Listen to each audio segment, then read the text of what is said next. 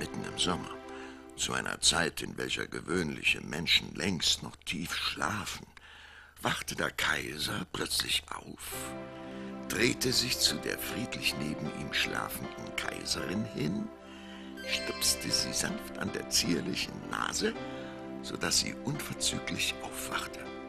Kaiserinnen wachen nämlich immer auf, wenn man sie an der zierlichen Nase stupst, und sagte mit trauriger Stimme zu ihr, Liebste Gemahlin, warum habe ich keinen, einen Namen? Wie bitte? fragte sie verwirrt über diese merkwürdige Formulierung. Warum ist es mir nicht vergönnt, jedem anständigen Untertan in meinem Reich, einen, nur einen einfachen Namen zu haben? Warum heiße ich nicht einfach Willibald?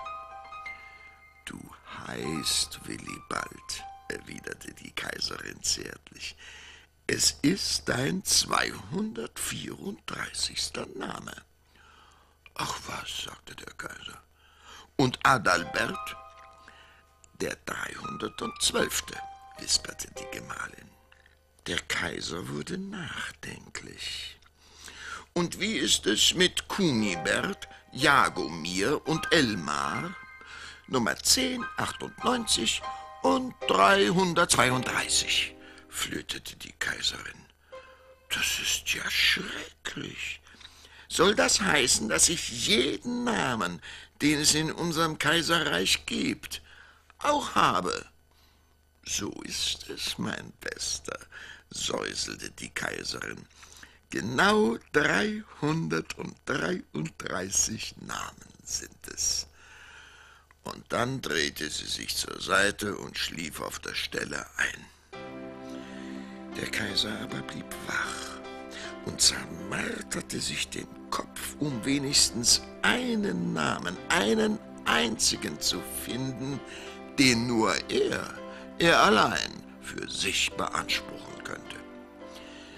Und schließlich, kurz vor Sonnenaufgang, richtete er sich in seinem Bett auf und verkündete der Kaiserin, nachdem er sie sanft an der zierlichen Nase gestupst hatte, Beste Gemahlin, höre, ich habe einen Namen für mich gefunden, den nur ich, ich allein, für mich beanspruchen werde.